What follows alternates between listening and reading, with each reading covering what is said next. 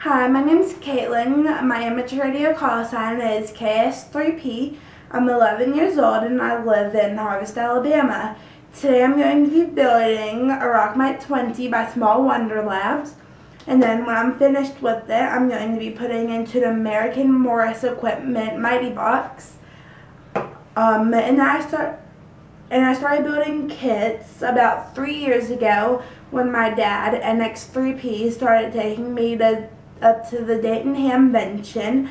Um, and, and when we were in Ohio, we started attend, we attended the QRP Amateur Radio Club International's Build-a-thon.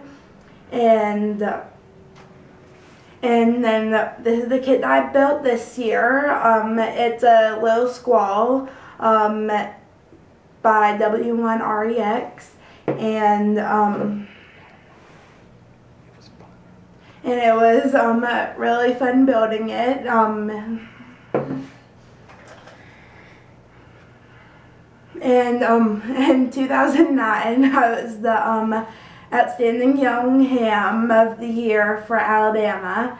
And um, now I've worked all states, and um, I'm an ARRL um, Assistant Section Manager for the Youth Activities in Alabama.